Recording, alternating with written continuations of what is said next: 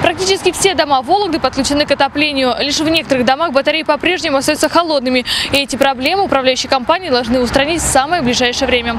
О начале отопительного сезона в Вологде узнавала Екатерина Олейникова. Ой, слава богу, батарейки-то горячие, теплые, как хорошо-то, то на улице холодно. Отопление в квартире Тамары Васильевны в доме на Козленской 11 появилось еще 18 сентября. Именно в этот день в Вологде стартовал отопительный сезон.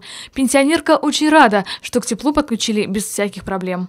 А жилось ну, нормально, но прохладно. Прохладно. Утром вставать не хотелось в постели, потому что прохладно. В ванной мыться тоже не хотелось. А сейчас очень хорошо. Батареи теплые, прекрасно. Я так очень довольна, что дали тепло. На сегодняшний день тепло стало во всех жилых домах Вологды. Все лето коммунальщики проводили ремонт тепловых сетей и котельных, чтобы встретить осень в полной боевой готовности.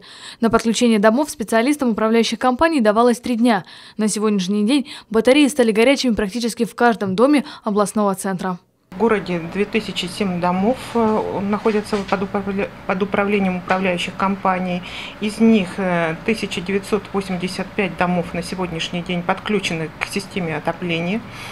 На 9 домах вот сейчас э, после двух часов разжигается котельная по Московскому шоссе 44, отопление будет к вечеру, и 14 домов не подключены из-за того, что прорывы на внутренних системах теплоснабжения.